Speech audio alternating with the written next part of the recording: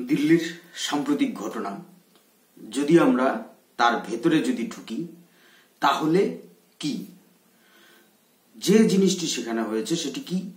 অনেকেই বলে থাকবেন যে সিএ তার সমর্থনকারী বা সিএ তার বিরোধিতা, অর্থাৎ যারা বিরোধিতা করছেন তারা। এই দুজনের মধ্যে একটি বাদানুবাদ, তার থেকে সূত্রপাত এই। আদতে কি এই সিএ এটি কি আসল? বা এনআরসি এগুলি কি আসল? একটি প্রশ্ন। সেই যে যে সমস্ত ব্যক্তিরা এই যে সংঘর্ষে লিপ্ত হয়ে পড়লেন, যার দরুন আজকে বিভিন্ন বাড়িতে বাড়িতে যে রোল উঠে গেল, এই ব্যক্তিরা বা এই যে ছোট ছোট বাচ্চারাই হোক বা যারা এই কাণ্ডটা করেছে, বা মহিলা পুরুষ যেই হোক, তাদের কে বা কয়জন এই সিএ বা এনআরসি এ সম্পর্কে অবহিত আছে। তারা কি আদৌ এ সম্পর্কে ডিটেলস জানে বা বোঝে? আমার তো মনে হয় না, এবং সত্যি সত্যি তাই। গ্রাউন্ড লেভেল রিয়ালিটিটি কি? অনেকেই বিভিন্ন ধরনের বক্তব্য পেশ করছেন, বিভিন্নভাবে যারা গোষ্ঠী সংঘর্ষ, এই গোষ্ঠী, ওই গোষ্ঠী বলে চলছেন। আদতে কি? আদতে হচ্ছে। আমার যা মত গ্রাউন্ড লেভেল থেকে যদি আমরা যদি ধরে আসি সেই সমস্ত ব্যক্তিগুলো যারা এই ঘটনায় জড়িত হয়ে গেল, তাদের আদৌ না আছে কোনো এ সম্পর্কে, অর্থাৎ যা নিয়ে মূল আন্দোলন সে সম্পর্কে কোনো ধারণা না আছে, তার পরবর্তীতে কি হতে পারে সেই সম্পর্কিত ধারণা। কিছু লোক অমুক মিশ্রই হোক বা অমুক হোসেনই হোক, এরকম কিছু কিছু লোক তাদের নির্দিষ্ট করে কিছু বক্তব্য, সেই বক্তব্য তারা পেশ করেন। তাদেরকে বোঝানো হয় বিভিন্ন রকম ভাবে বিভিন্ন ভাবে এছাড়াও বাইরে থেকে কিছু লোককে নিয়ে আসা হোক, যারা দু চারটি সুন্দর করে বক্তব্য ছাড়বে, সেই সমস্ত লোক গুজন কারা? এখানে কোনো ভাববেন না যে উচ্চশিক্ষিত ছেলে মেয়ে উচ্চশিক্ষিত ছেলে মেয়েরা কি করছে? পিছন থেকে কলকাঠি নাড়ছে। উচ্চ নেতৃত্ব বা নেতা বা নেতৃবর্গ, তারা কি করছে? পিছন থেকে বক্তব্য ঝাড়ছে। কিন্তু যে কাজ বা সংগঠিত হচ্ছে, সেই সংগঠিত করছে কারা?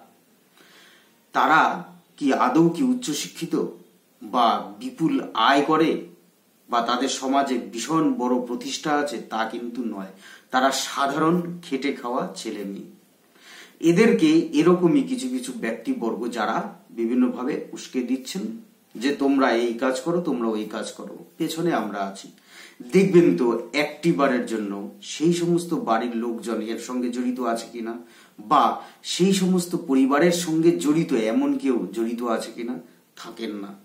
কারণ তারা বিভিন্ন বক্তব্য দিতে পারেন, কিন্তু ভারতবর্ষ এমনই একটি জায়গা তারা কখনো সামনে থেকে সেই সমস্ত, অর্থাৎ বেআইনি কাজকে সংগঠিত করেন না, বেআইনি কাজকে সংগঠিত করতে উৎসাহ দেন। অনেকেই বলে থাকেন, ডোনাল্ড ট্রাম্প, তিনি আমেরিকা থেকে ভারতবর্ষে এলেন, go back Donald Trump, go back Trump.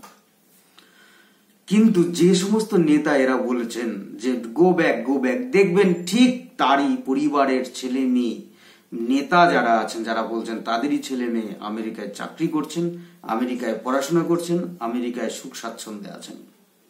অথচ তার মানে কি? তার মানে আমরা আমাদের বক্তব্য যেটি আছে সেটি ঝেড়ে যাব, কিন্তু আমরা আমাদের ব্যক্তিগত যে ব্যক্তিগত যে কাজ সেগুলো সঠিকভাবেই করে যাব।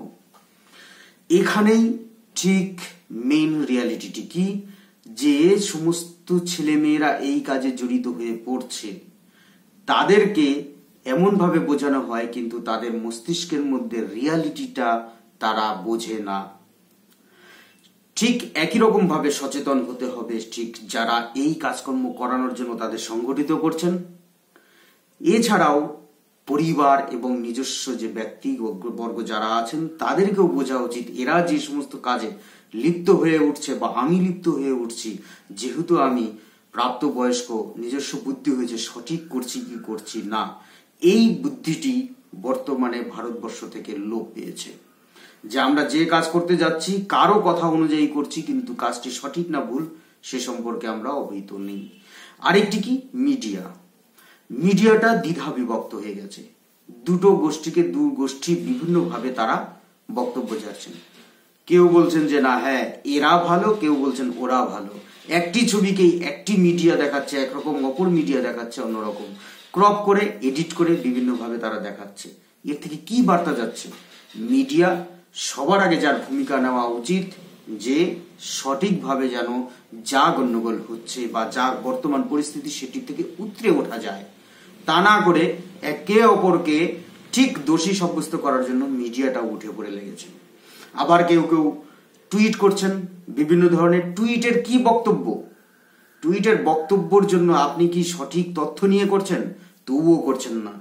প্রত্যেকেই করছেন কি একে অপরকে একদমই বলা যায় যে একে অপরকে একদমই সমর্থন করছেন।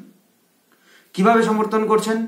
যে না, এর, এ, এরা যা করছে, কারা করছে, অমুকে করছে, ভুল করছে, সেটা বলছেন না। এরাই করছে এই ঘটনাটি। বলুন যে প্রত্যেকেই ভুল করছে। দু ধরনেরই টুইট দেখা যাচ্ছে। এতে কি হচ্ছে? আরও জনমানসে বিরূপ প্রতিক্রিয়া তৈরি হচ্ছে।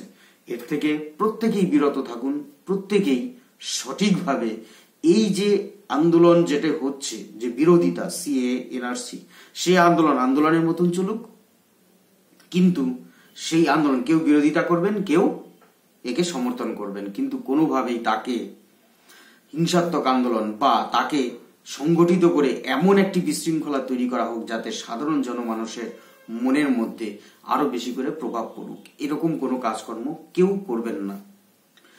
আরেকটি বিষয়, যে সমস্ত বাড়িগুলোতে যে ঘটনাগুলো ঘটে গেছে, সেই সমস্ত এরিয়াগুলোতে, বাড়িগুলোতে আপনারা গিয়ে দেখতে পারবেন না যে কি পরিস্থিতি, এতটাই খারাপ পরিস্থিতি তৈরি হয়েছে। এর যে ভবিষ্যৎ কি, সে কিন্তু তারা বিবেচনা করেনি। গ্রাউন্ডে নেমে নেতারা কিন্তু সেটা কোনোদিনও দেখবেন না। দেখবেন কি? নিজস্ব ফায়দা কতটুকু হয়েছে তাই।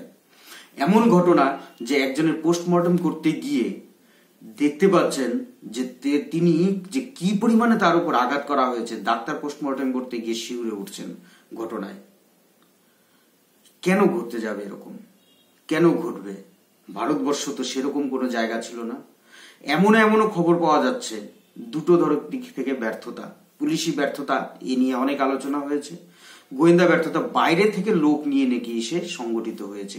এতদিন থেকে এত অ্যাসিড, এত কিছু, এত ইট, পাটকেল, সমস্ত কিছু জমা হয়েছে। এতে কি গোয়েন্দারা বোঝেননি বা টের পাননি?